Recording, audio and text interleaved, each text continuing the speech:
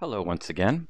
This is the Mushroom Wizard, and I have brought to you today a presentation about the Deceiver mushrooms of Saskatchewan. And this is uh, a group of mushrooms that many of you may never have even heard of. They only include one genus, and that is Laccaria. So, what is a deceiver? Well, as I just mentioned, those are mushrooms in the Laccaria genus. They are very colorful. And though it is easy to distinguish the Laccaria genus from other genera, it is very difficult to distinguish individual species within that genus from the species Laccaria laccata. And you'll see what I mean as we come to the end of this presentation. These are very colorful species, like I said, and they are often ignored by mushroom pickers, despite being very common. So the first species we're going to look at is the scurfy deceiver, Laccaria proxima. And as with the other ones, this is quite a beautiful mushroom. It is red to orange to brown, convex, flattening out with age, um, sometimes developing a bit of a central depression there. You can see there's a little bit of one going on. The margin is downturned, sometimes becoming upturned.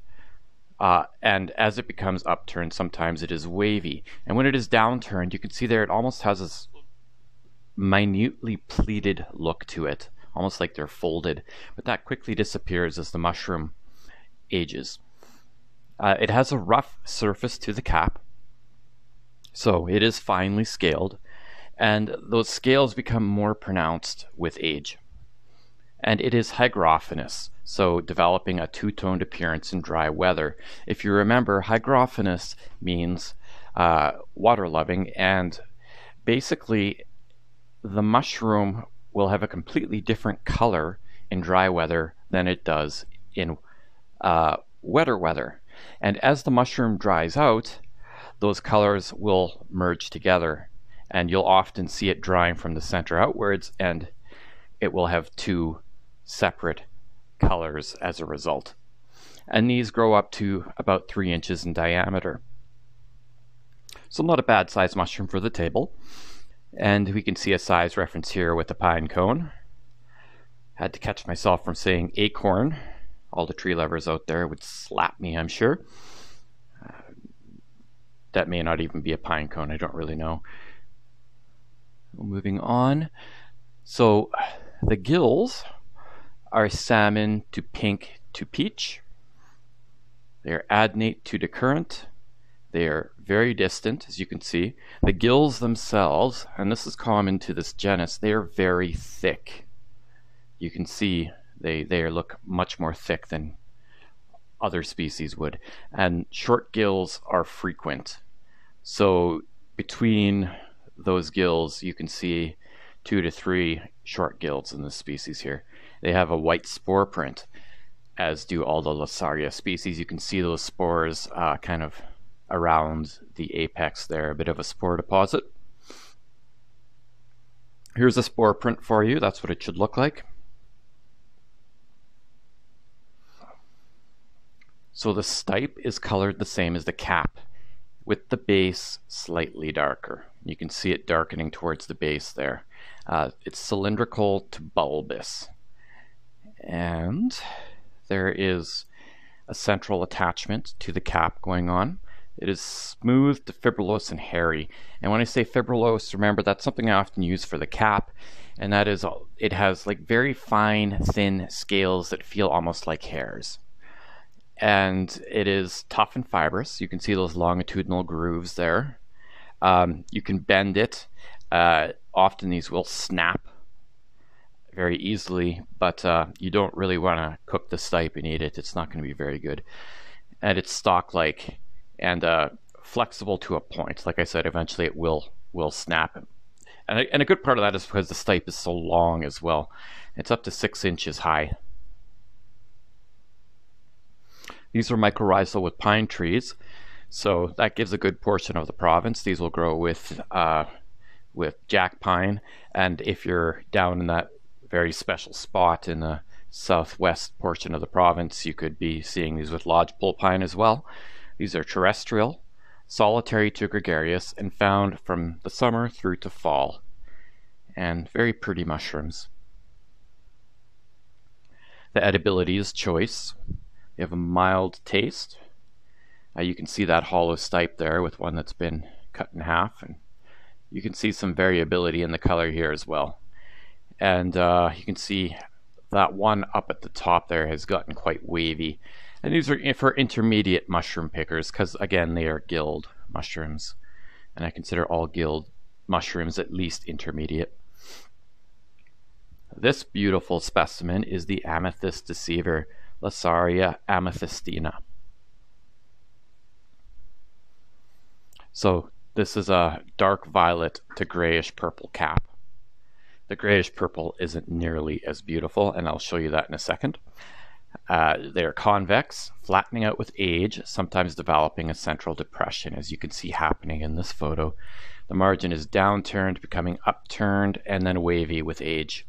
Uh, when you run your finger across the cap, it won't be scaly like the last one. It'll actually be velvety and very soft to the touch.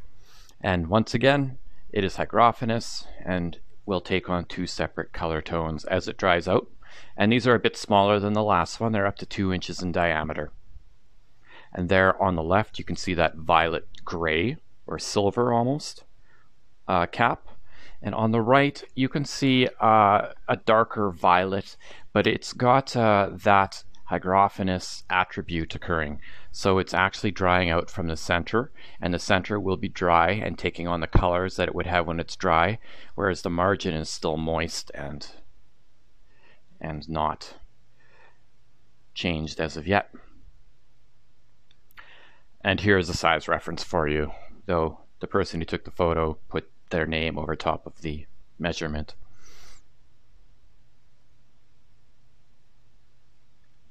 The gills are lavender to purple and just as beautiful as the top of the cap. They are adnate to decurrent. They are distant, as you can see there. They are very thick, and those short gills are three to four each between the uh, between the gills. So we would say that short gills frequent, and uh, it is with a white spore print. There's a spore print. The stipe is colored the same as the cap. It is cylindrical to bulbous. It is finely scaled or hairy, and it's got these kind of lighter colored scales, and you can see them there. Uh, I would say that's fibrillose as well, because it's not actually hairs. It's it's kind of like thin scales. It has a central attachment to the cap, and it is has those same kind of stalk-like qualities that we've mentioned before. And these are up to three inches high.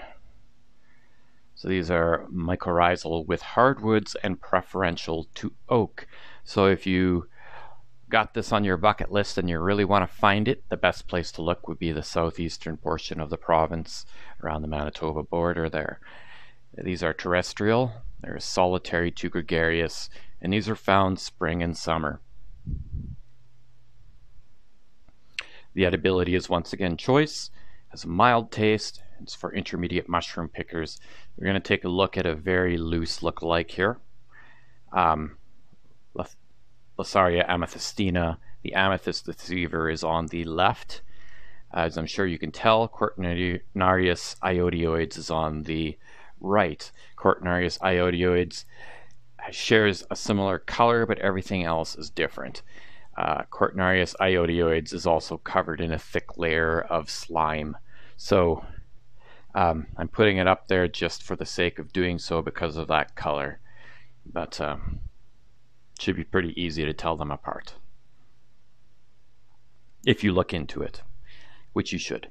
So the purple gilled Laccaria is next.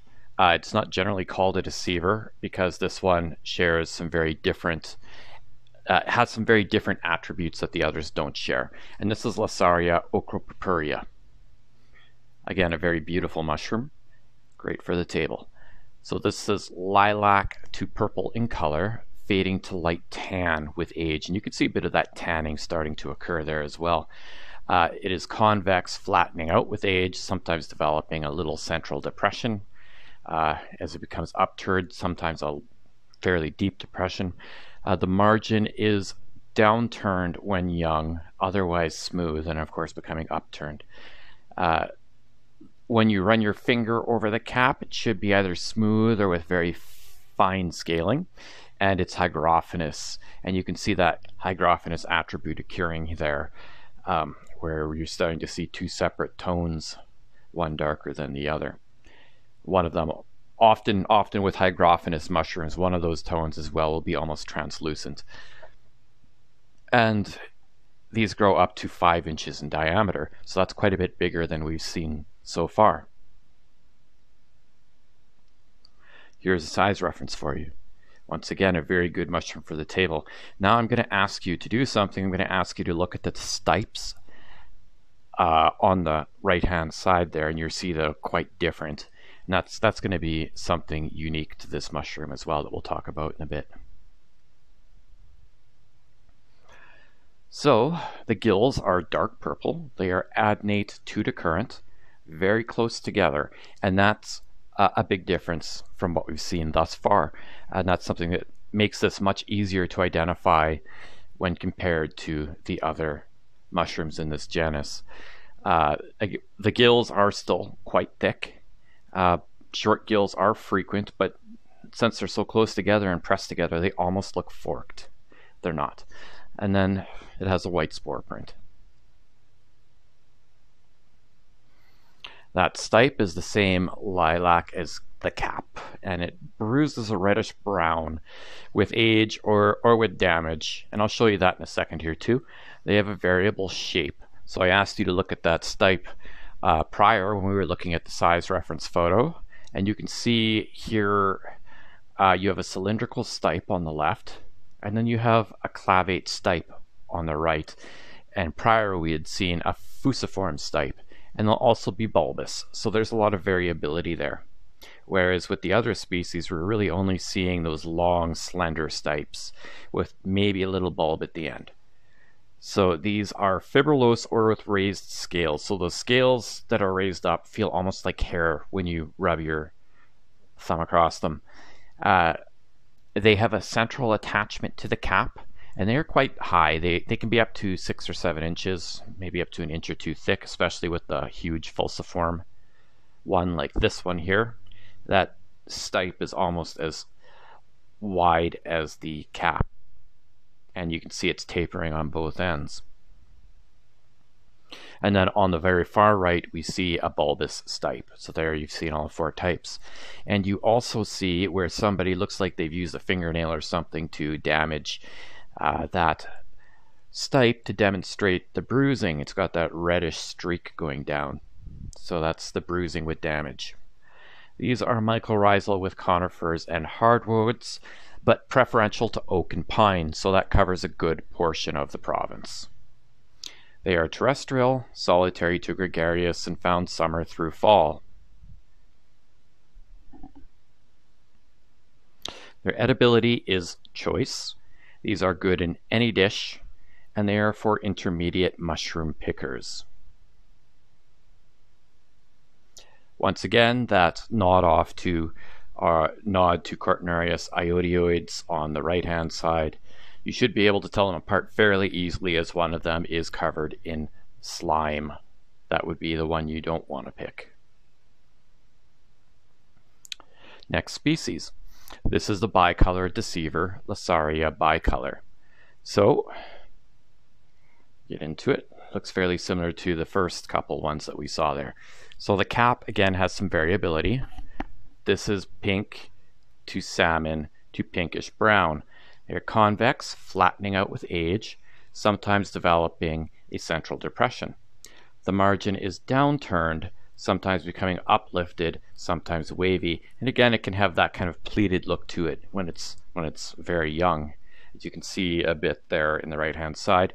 These are sometimes smooth, sometimes velvety. Again, it's hygrophanous, like we've discussed before. These are up to three inches in diameter. I'm going to show you some of the variability here. So on the left hand side, that's more of a brown, probably a very dry one. On the right hand side, that one's flattened out there and it's uh, got a range of colors. And these can be salmon to pink to purple in terms of their gills. It's again a lot of variability. They are adnate to decurrent. They are distant. They have very thick gills, and those short gills are becoming more frequent. You can see five there up at the top between two gills.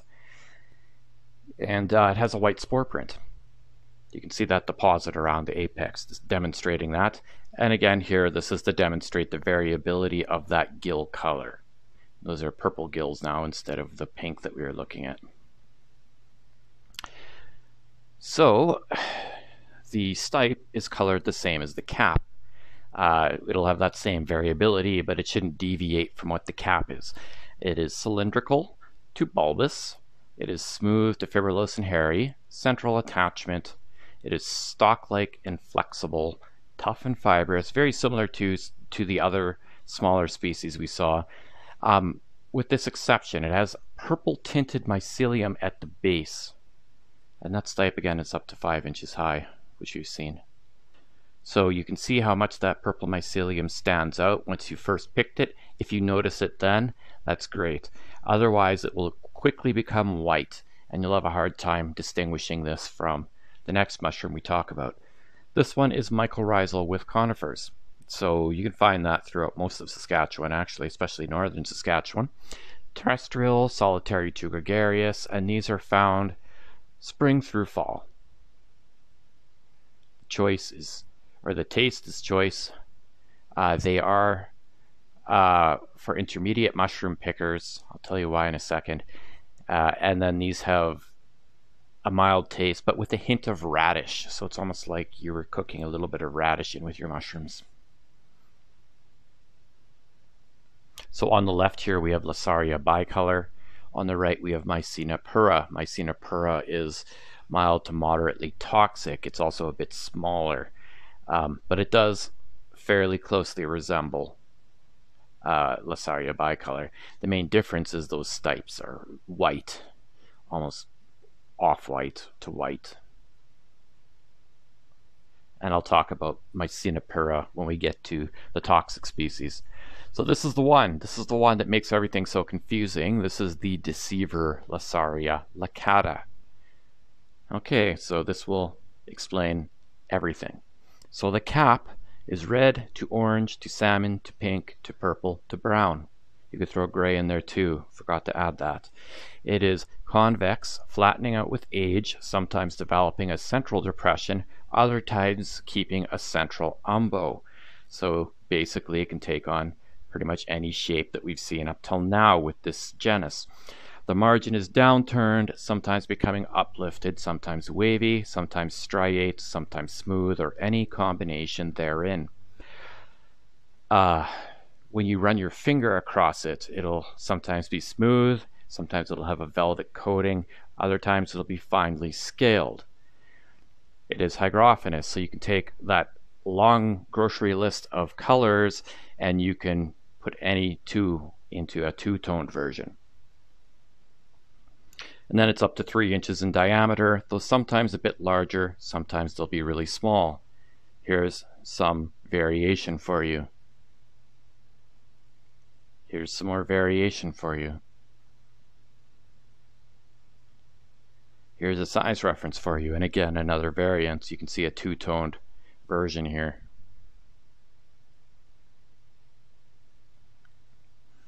So the gills are salmon to pink to tan to purple. Adnate to decurrent, they are distant. They're very thick gills. Short gills are frequent.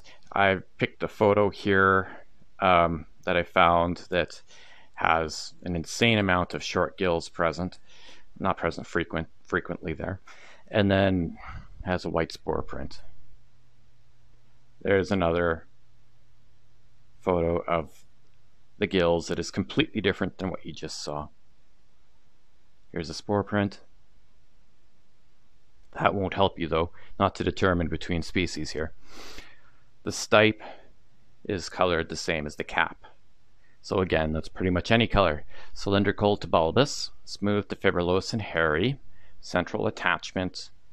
It is stalk-like and flexible, tough and fibrous. Here's the difference. It has white mycelium, and that will differentiate it from the one we just saw, the bicolored deceiver. And then these are up to five inches high. The ecology will not help you to differentiate this mushroom from the others because this is mycorrhizal with hardwoods and conifers, so basically any tree. They will be found anywhere the other ones are found. It is terrestrial, solitary to gregarious, and then it's found uh, from spring all the way through to fall, so the seasons won't help you either. It truly is the deceiver. Its edibility is choice, has a mild taste with a hint of radish, and it is for intermediate mushroom pickers. So basically, what I'm showing you is a group of mushrooms that are very easy to determine that they're in the Laccaria genus. They have a lot of shared qualities, and this isn't a mushroom that you see. It's, it's not what you think of when you see mushrooms and you think of mushrooms. But to determine the species, that's going to be a difficult one to do. So I hope you enjoyed this presentation. Uh, this is the Mushroom Wizard, and I will see you again with another presentation soon.